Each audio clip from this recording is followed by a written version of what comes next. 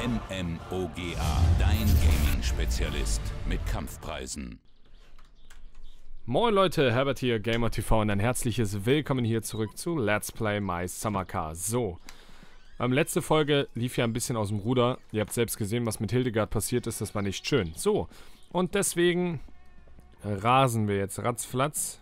Nicht mit Hildegard, weil der Wagen ist ja wirklich komplett in Ordnung. Ähm, ich möchte den Wagen auch nicht weiter kaputt machen oder strapazieren. Die Karre läuft, sie ist Rallye bereit.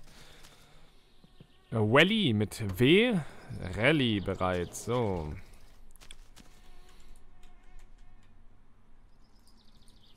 Oh, das ist das erste Mal, dass wir nicht durch die Gegend fliegen. Unfassbar. So, hier ist noch die NOS-Flasche drin.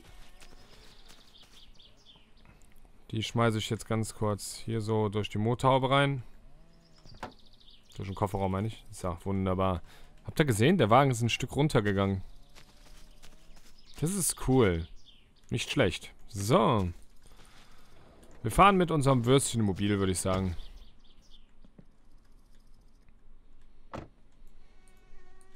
So, sehr schön.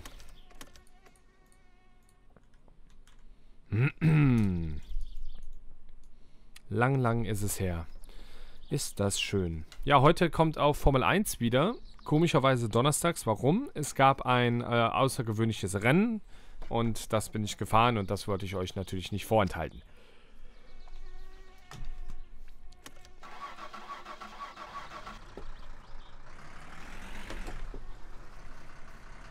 Wie sauber er doch angeht, oder?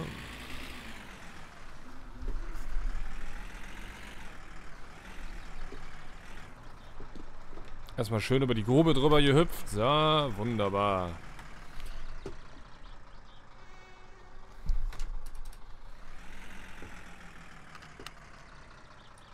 Zack.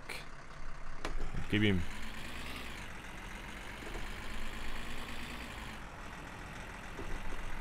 So, das heißt, wir bringen jetzt erstmal den Brief weg.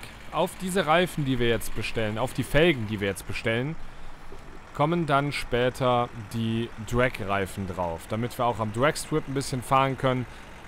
Und ähm, ich denke mal, das wird auch ganz lustig werden. Was ich mir persönlich wünschen würde, wäre noch ein Anhänger, wo ich das Fahrzeug selber drauf fahren kann.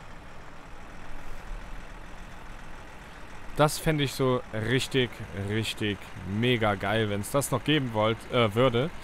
Des Weiteren habe ich ja schon überlegt, es gibt ja hier ähm, auch wie heißt es? Es gibt auch die, die, die, die, die, ähm, wie heißt denn das nochmal da hinten, dieses, ist das ein Bergbaugebiet da hinten, wo nur Schutt ist und so? Da könnten wir auch gerne mal mit Hildegard hinfahren und mal ein paar Runden drehen. Das sieht so ein bisschen nach verlassener Rennstrecke aus.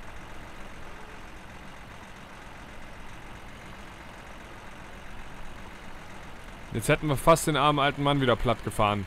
Also wenn der nicht bald aufhört damit, hier einfach über die Straße zu laufen, dann weiß ich auch nicht. Das ist lebensgefährlich. Wann versteht dieser Mann das endlich? Oh mein Gott. Ah, Opa, was ist los, Mann? Oppes. Mensch. Nachdem ihr mir gesagt habt, dass das übrigens mein Opa ist, behandle ich ihn natürlich mit Respekt. Und denke mal, ähm, dass Opa einfach nur einen Knacks weg hat. Er ist halt ein bisschen bescheuert, aber was soll ich dran ändern? Das ist Opa.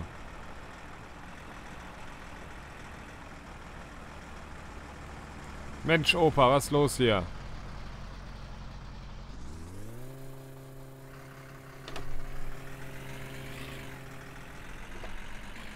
Du musst einen Gang einlegen, sonst wird das nix. Mann, Mann, Mann, Mann, Mann. Was sollen wir nur mit Opa anfangen? Wisst ihr? Das ist ein armer alter Mann, der hier im Kreisel fährt.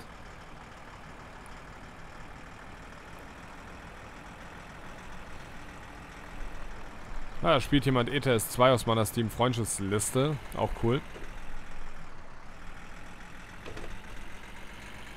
Es wäre cool, wenn ich hier an dem Fahrzeug noch die Felgen ändern könnte.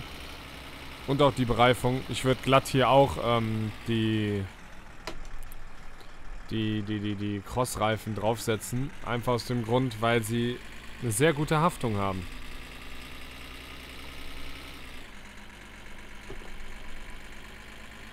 So, dann können wir nämlich tanken, dann können wir alles fertig machen und dann ist es fast schon so weit, dass wir endlich bald die Rallye fahren können.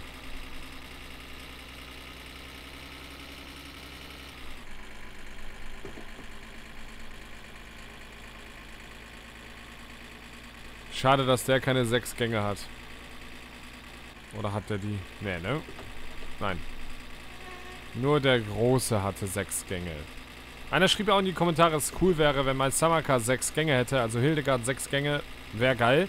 Gibt es einen Mod für. Bringt natürlich eine enorme Hochgeschwindigkeit mit sich. Das ist schon ganz cool. Also die ganze Übersetzung ist halt anders.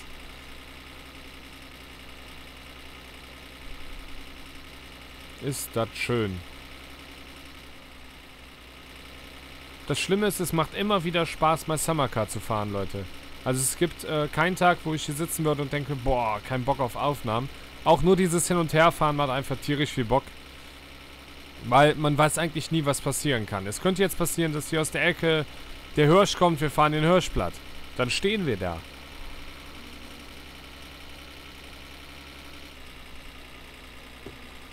So, da sind wir nämlich schon da.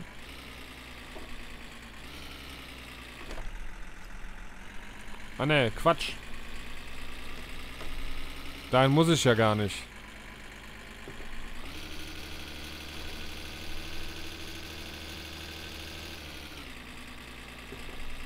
Ich habe das Gefühl, dass ihm die Leistung geklaut wurde.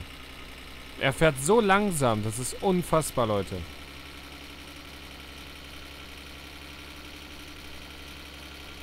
Der Van braucht ein Upgrade. Und wenn es ein fetter Turbolader ist. Und das wäre geil, wenn man sowas machen könnte. Oder meist Summercar mit einem fetten Turbo. So einen richtig großen oder so. Oder Kompressor. Wäre auch schon geil.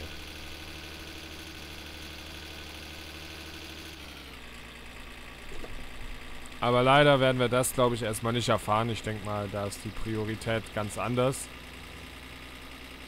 dass wenn die überholen, Leute, ne, das ist so gefährlich. Die überholen nicht ganz normal, easy going. Nein, die überholen immer sehr, sehr riskant und achten auch gar nicht, ob da jemand kommt. Die überholen so wie ich und das geht nicht. Das kann man nicht machen.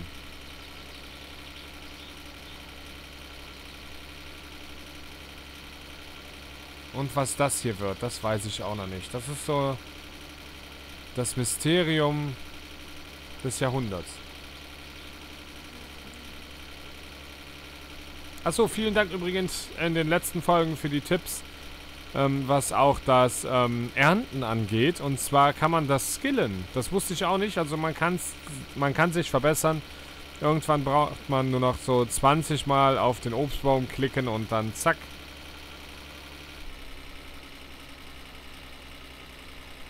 Hat man schon so gesehen gesammelt. Na, äh, wir stehen auch schon arg in der Schräglage.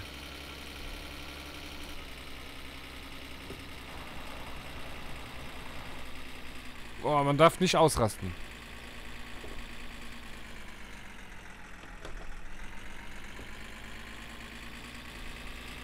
das ist der Hammer. Warum zur Hölle laufen die einfach hier rum?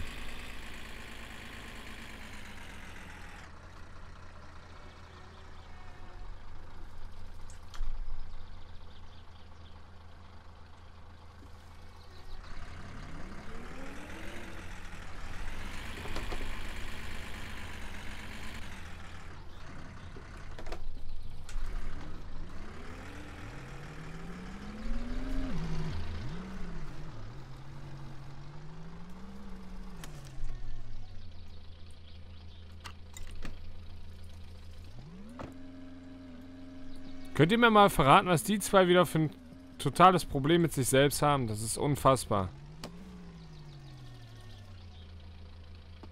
Ich bin gleich wieder tot, weil er mich anfährt oder so.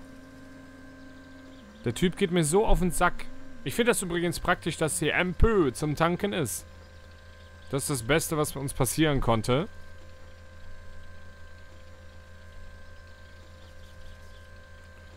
Aber es macht mir Angst, seinen Motor zu hören.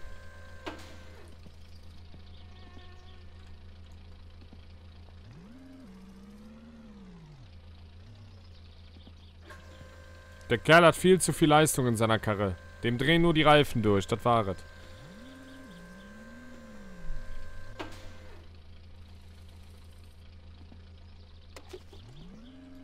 Cool, 52 Mark. Das ist ja nix.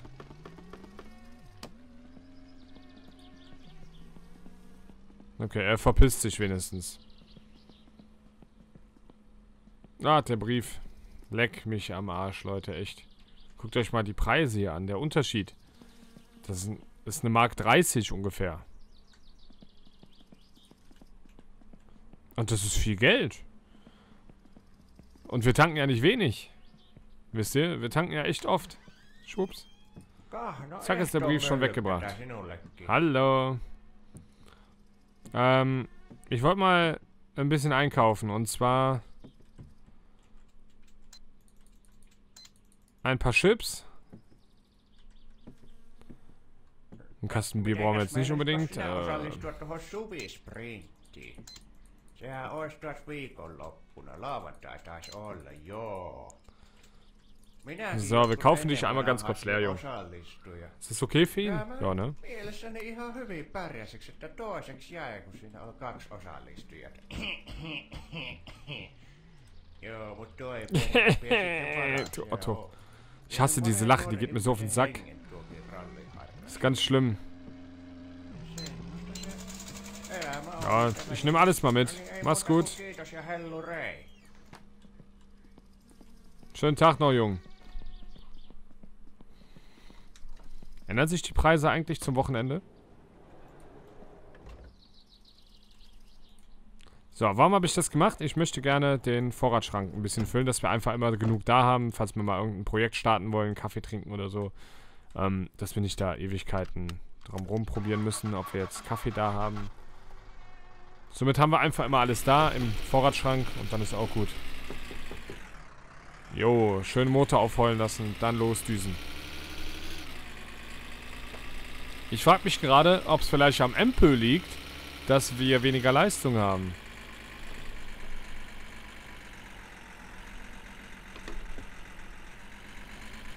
Boah, das hier ist schon Limit für diese Chore in der Geschwindigkeit. Sehr gut. Hat aber geklappt. Alles ist okay.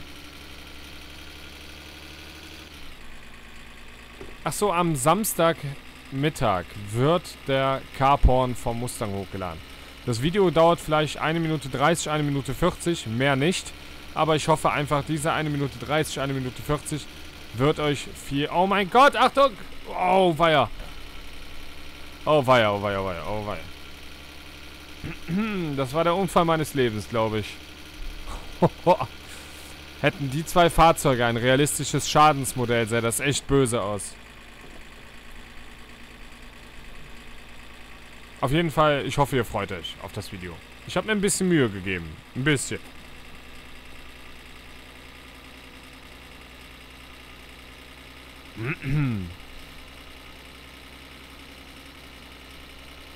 Ich denke mal, ich werde noch so eine Art Pflegevideo hochladen.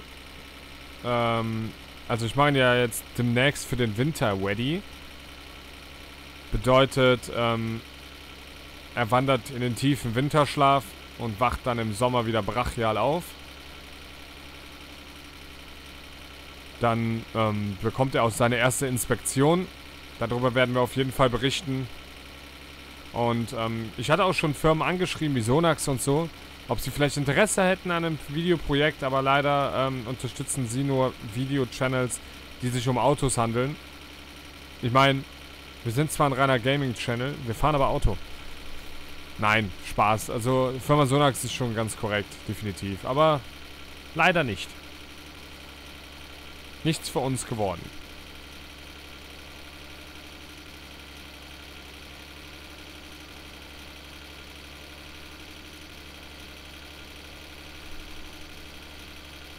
Ich mag diese Brücke einfach extrem. Das ist der Hammer.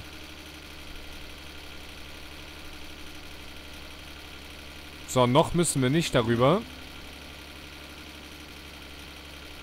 Und nein, ich bin nicht betrunken, Leute. Der Wagen fängt irgendwann einfach so an zu schleudern. Damit müssen wir klarkommen.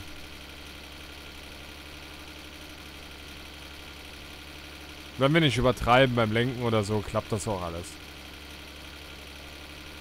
Dann schaukelt er sich auch nicht zu extrem auf. Dann bleibt alles locker flockig und gut ist.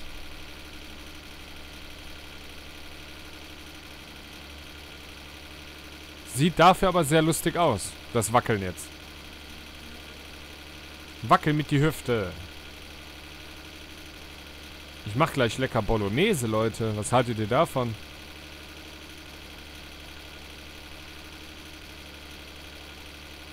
Der Gag ist, irgendwie wackelt nur das Fahrerhaus, der Rest bleibt einfach ganz chillig.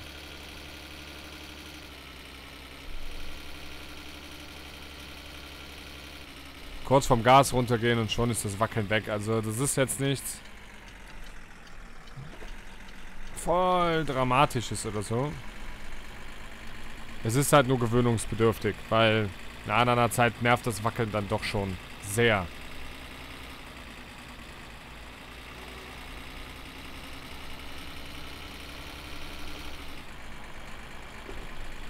So, laut meinen Berechnungen dürfte Opa jetzt nicht kommen. So flott ist der alte Mann nämlich mit seinem äh, LKW nicht, wollte ich gerade sagen, mit seinem Auto nicht. Von daher dürfte es gut gehen. Verfickte Scheiße. Bis morgen, Leute. Tschüss.